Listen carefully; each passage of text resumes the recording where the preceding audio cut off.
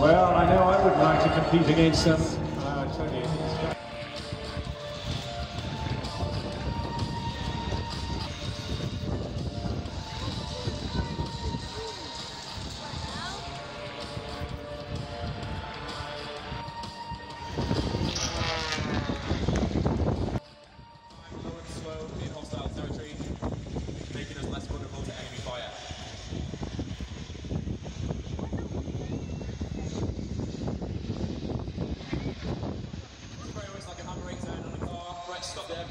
At ground centre there, and he's now going to perform the Gordy climb.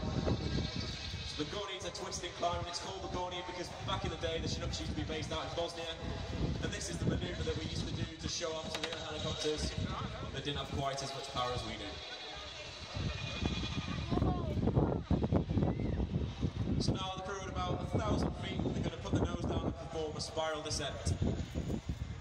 So as I said before, not only have we got two pilots nice and safely strapped in the front of the aircraft, we've also got a crewman down the back. Today that's Sergeant Ben Howard. And right about now, Ben stood up in the cabin, attached to the wall via a harness, and he'll be underneath the front of the aircraft and he'll run all the way down the back.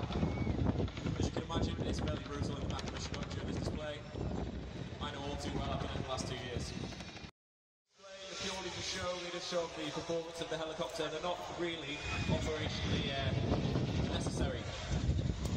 Cats over the links. There's increased control and authority at low speed, which allows us to do this. And as they reach the top, the aircraft will need to do something to get out of this position.